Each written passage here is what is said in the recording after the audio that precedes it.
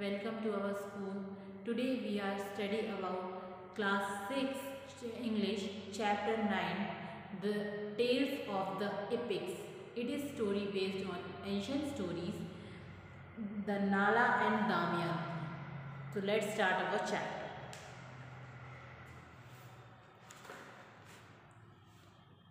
Nala and Damayanti, the story of epics. It is a story based on the daughter of Bhima. An epic is a long poem or story that narrate the deep of heroic or legendary figures on the past. जो epic होते हैं वो क्या होते हैं कोई बहुत बड़ी पोयम या कोई बहुत बड़ी स्टोरी होती है किसके ऊपर कोई पुराने जो एंशंट टाइम के कोई हीरो हीरो या किसी लेजेंड के ऊपर जो कि पास्ट में हो चुके हैं Here is an epic episode taken from the Mahabharata. It deal with the themes of internal love.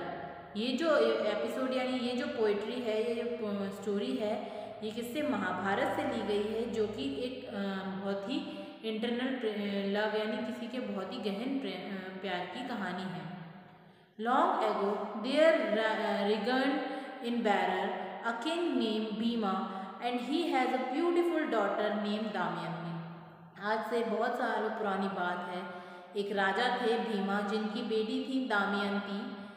A brand of handmaiden और great beauty waited upon her day and night और वो क्या थी? देखने में बहुत ही लाजवाब और बहुत ही सुंदर थी। और वो दिन रात क्या है? वेट करती रहती थी किसी के आने का। But she shone among them like the moon among the stars and the great horses, as well as God wishing to marry their beautiful maiden. और क्या चाहती थी कि वो हमेशा यही सोचती थी कि कोई सपनों का राजकुमार बहुत सुंदर सा, जो कि मून की लाइट में स्टार जैसा जिसके पास एक सफ़ेद घोड़ा होगा, वो वो आएगा और वो मुझसे शादी करेगा Nala the king of Nishadha came to hear of Damayanti Teej love लवलाइन loveliness and her great talent जो नाला जो थे, जो कि निषाद के जो किंग थे, उन्होंने दामयंती के बारे में, उनके प्यार के बारे में, उनके टैलेंट के बारे में बहुत कुछ सुना था and was strung with love for her और वो कहीं ना कहीं उनसे प्यार कर बैठे थे। She is turn her heart that Nala was brave handsome wild read and skilled in arms तो वो कहीं ना कहीं वो दोनों ही एक दूसरे से अटैच अटैच हो गए थे। वो भी उन, उनके लिए भी कुछ ना कुछ सॉफ्ट कॉर्नर था उनके हार्ट में नाला के लिए, क्योंकि वो नाला को काफ़ी ज़्यादा हैंडसम और ब्रेव मानती थी। They loved Nala was brave handsome well reading and skill in arm उनका मानना था जो नाला है वो काफ़ी ज़्यादा ब्रेव है, काफ़ी हैंडसम है और पढ़ाई लिखाई में भी काफ़ी अच्छे हैं और बहुत ही अच्छी उनकी आर्म्ड स्किल भी है। They loved each other upon the mere fame of their respective virtues और वो दोनों क्या है, एक दूसरे की खूबियों से इतने ज़्यादा प्रभावित थे कि वो दोनों एक दूसरे से कहीं ना कहीं अट्रैक्ट हो गए थे।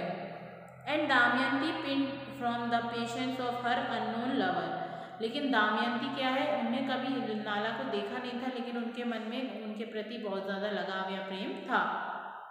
One day while Nala was seated in a grove he saw a flock of swan जब एक दिन नाला जो है ग्रोव में बैठे हुए थे, उन्होंने एक हंसों का जोड़ा देखा।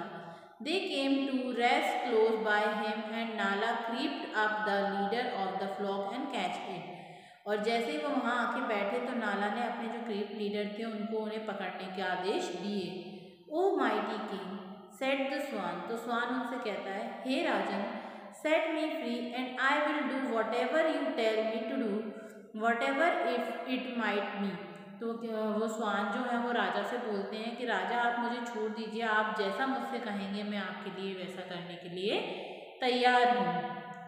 When it arrive in king Bhima's palace it found Damayanti rescaling in her garden surrounding by sorry if a bird can do a human being any service send Nala तो वो कहता है, एक बर्ड एक चिड़िया, एक ह्यूमन बींग के लिए क्या कर सकती है? Fly to my love Damayanti and tell her how much I love her तो वो कहता है कि काम करो, आप उड़ के जाओ और मेरे, आप दामयंती से जाके कहो कि मैं उनसे कितना प्यार करता हूँ, ये आप उन्हें बताइए। He realise the bird and it flew over to Berar rejoicing its in its freedom तो वो कहता है कि अगर आप जाके उड़ के मेरा ये काम करोगे तो मैं आपको छोड़ दूँगा, मैं आपको आज़ाद कर दूँगा। When it arrive in king Bhima's palace और वो क्या करता है? किंग भीमा के पैलेस में आती है वो स्वान। It found दामियन